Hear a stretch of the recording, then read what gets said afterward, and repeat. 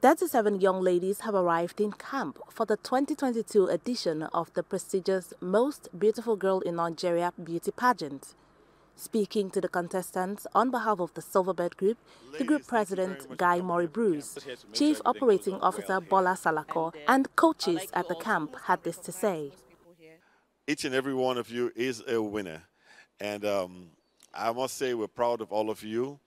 Um, MBGN is 34 years old this year.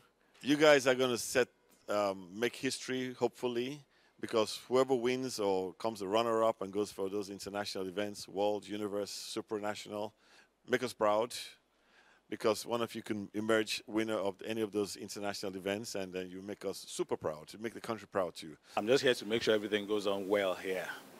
And uh, I just wish you all the best of luck. I'd like you all to have fun, um, enjoy yourself, and also compete. And I'll always be available here. We have chaperones and all. If there's any issues, feel free to go to them and talk to them. And uh, if you really need to talk to me, you can pass your message to the chaperone. Look amazing. I almost can't recognize most people here. Amazing. I'm, I'm really excited about this journey. Um, this is probably the last time you see me smile and laugh with you, but know that I mean well. I'm here to make you look good, so let's make it happen for MBGN 2022. Take care.